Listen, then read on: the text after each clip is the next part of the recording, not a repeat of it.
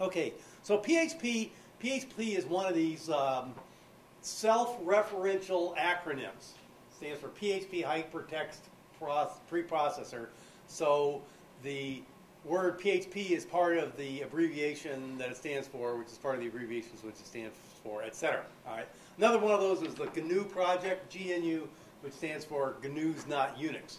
Once again, self-referential acronyms. And so these are the guys that started it up. Um, mostly a bunch of Israelis, um, just had this cool idea, and it just caught on. The beauty of open source uh, technology. Okay. So what we mean by hypertext preprocessor. So hypertext is the stuff, HTML stuff. You I'm sure you have seen this. Um, if you haven't ever seen this, then you may be in the wrong place because this is about web author. Right?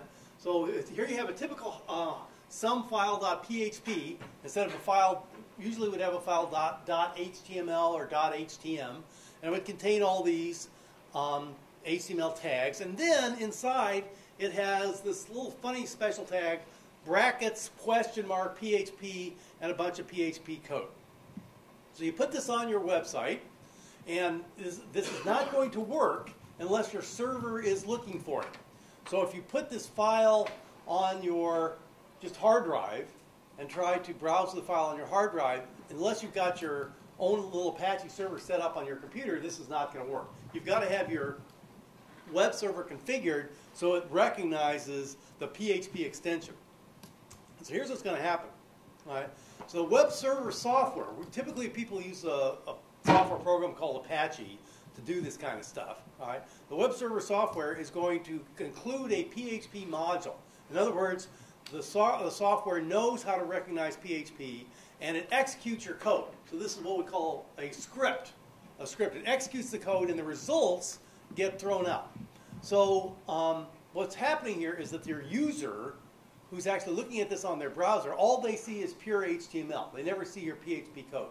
And this is useful because if anybody's had the experience of writing code that works on some browsers and it doesn't work on other browsers, these kind of cross-browser compatibility problems. Well, one of the ways of fixing that is to move all your code back to the server, where you only have one server, so you don't have any compatibility issues. And so what the browser sees is just pure HTML code. Uh, so that's one, one time when you want to do.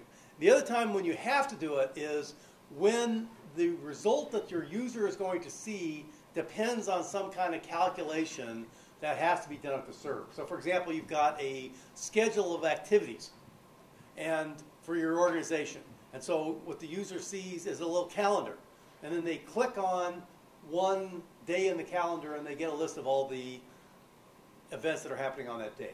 Well, what's going to happen there? Well, what's going to happen is you've got to have a database back on your server that knows all the events. And so you have to wait for the user to tell you what day they're interested in. And then you have to do some calculations on the server, basically a database lookup, and you got to spit out the results. So anytime you're, you're working with some kind of database application, where you're storing information on, on the server in a database, then you're going to want to use some kind of programming language. And my experience of all the many different programming languages that you can use, PHP is one of the easiest and quickest to actually get stuff done. Uh, and we're interested in it for, for itself, and also because it's the foundation of a number of other very useful technologies, in particular WordPress. Um, WordPress is based on PHP, so if you're learning WordPress, as I am, then you'll want to know a little bit of PHP so you understand what the foundation this is. Okay? So um, one of the very interesting things about you know, about PHP is it has some a lot of really interesting built-in stuff and there's a, um, a special little PHP function that you can call that does essentially a, a kind of a status configuration dump. So the, uh, the code for this page, the code for this page right here that does all this stuff, it puts out several lines of status information, is a single line of code which calls a single PHP function, the PHP information function, and just dumps all this stuff out. And this is really useful because this is what tells you your configuration. Now, looking at this, you can tell that there is some, there are some configuration issues involved. If you, if you actually look at this stuff, you'll see that there's various types of kind of sub modules that are programmed into these things, right? XPM, FTP, YP, all kinds of stuff that you could that you have to kind of configure into here. So what I the way I um, did this was I used a um, a built-in kind of prepackaged um, system called uh, XAMPP. With a bunch of German kids built this thing, and it's just a pre a prepackaged module that has the Apache web server, it has the MySQL database server, and it has the um, PHP module all together. And it's just a, a five minute installation. Just go, just go look up, uh, you know, download XAMPP, right? Um, I think it's, and so uh, it's called, the guys call themselves, or guys and girls call themselves Apache Friends, which I think is kind of cool, right? So, so there's a lot of configuration, but you can get very easily started. If you just want to get started, use the XAMPP distribution. Okay, so a lot of what we're going to do, almost, in fact, almost all the time you're, going, you're using PHP, there's probably going to be a database involved someplace.